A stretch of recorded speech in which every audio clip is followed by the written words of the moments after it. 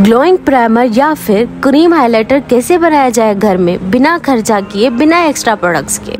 ऐसा ज़बरदस्त किस्म का ये हाइलाइटर है और प्राइमर है ना कि आपके फेस को बल्ब की तरह रोशन कर देगा। पार्लर में यूज़ होने वाला ग्लोइंग प्राइमर यही है वो। Aslam ji I hope you all are doing great so आज की वीडियो में मैं आपके साथ शेयर करने वाली हूँ ग्लोइंग प्राइमर बनाने का तरीका, जो कि सर्दियों के लिए बहुत अच्छा होने वाला है, खासकर जैसे शादी आने वाली है और साथ ही साथ क्रीम हाईलाइटर बनाने का तरीका भी बताऊँगी। जो आप घर में इजीली बना सकते हो और बहुत ही बेस्ट रिज़ल्ट हैं इसके और लॉन्ग लास्टिंग तो अगर आप मेरे चैनल पर न्यू है तो please subscribe to my YouTube channel तो सबसे पहले आपको चाहिए जी कोई भी आई पैलेट या फिर कोई हाईलाइटर जो भी आपके पास है, ठीक है? ज़्यादा खर्चा नहीं है इसमें। इसमें वही चीज़ें यूज़ होंगी जो आपके पास हैं। और आपको चाहिए कोई भी कंटेनर डिब्बी जिसके अंदर जो है वो हाईलाइटर बना के रखोगे, ठीक है?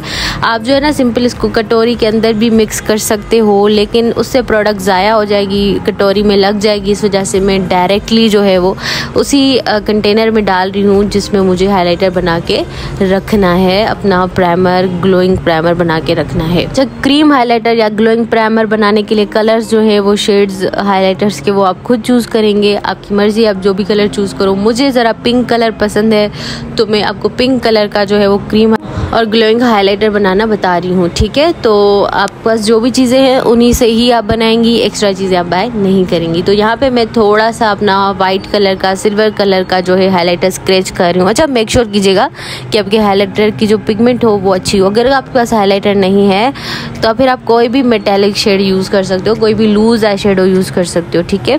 अब यहाँ पर मैं यूज़ कर रही हूँ अपना दूसरा रोज़ गोल्ड कलर का हाईलाइटर ठीक है? अब आप देख सकते हो मैंने इनकी बराबर क्वान्टिटी ले ले, ली है।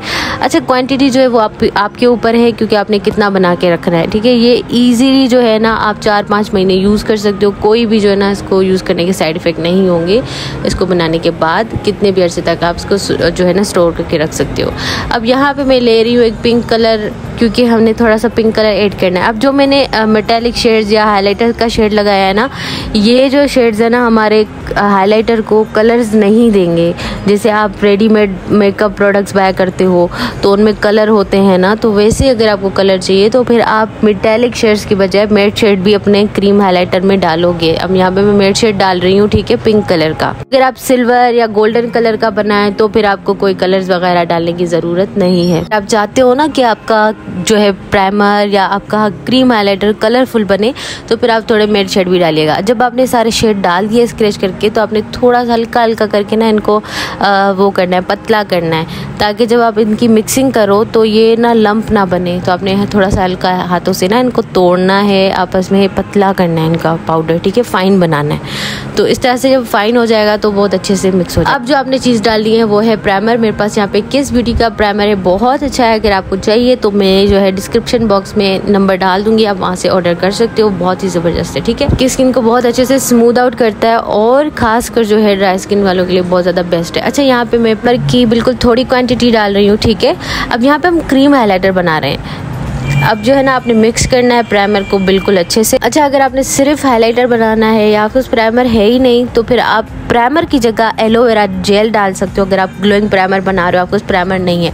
अब वो सारी लड़कियाँ बोलेंगी कि आप ही प्राइमर बना रहे हैं तो प्राइमर की ज़रूरत पड़ेगी तो प्राइमर बनाने का क्या फ़ायदा? तो मेरी जान आप एलोवेरा जेल डाल दें दैट्स इट वही काम करेगा जैसे कि हमारा प्राइमर करता है। उसके बाद मैंने यहाँ पे बेबी ऑयल डाला, ठीक है, ये बिल्कुल ऑप्शनल है, जिनकी स्किन बहुत एक्सट्रीम ड्राई है, वो जो है सिर्फ़ बेबी ऑयल डालेंगे अदरवाइज़ कोई भी नहीं डालेगा। अगर उससे नहीं है तो बिल्कुल भी ना डालिएगा स्किप कर दीजिएगा। उसके बाद ये मेन जो प्रोडक्ट है ना, वो है हमारा मॉइस्चराइजर मॉइस्चराइजर आप अपने स्किन टाइप के हिसाब से डालनी है, ऐसे ना हो कि आप बहुत ही जो एक्सट्रीम ऑयली किस्म का मॉइस्चराइज़र डाल दो, फिर वो आपके फेस पे सूट भी ना करे. मैंने मॉइस्चराइज़र आधा चम्मच से कम जो है वो क्वांटिटी ली है, क्योंकि मेरा कंटेनर छोटा था. तो यहाँ पे मैं इसको बहुत अच्छे से मिक्स कर रही हूँ, ठीक है? आपने जितना भी बनाना है ना, आप बना के रख लो और ईजी होके यूज़ करो इसको, आराम से, कोई मसला ही नहीं है. अच्छे से मिक्स करो, बहुत अच्छे से मिक्स करो ताकि कोई भी चीज़ जो है ना वो अलग ना रहे, सारी की सारी मिक्स हो जाए। आप देखें कि इसकी कितनी फंटेस्टिक किस्म की शीन है।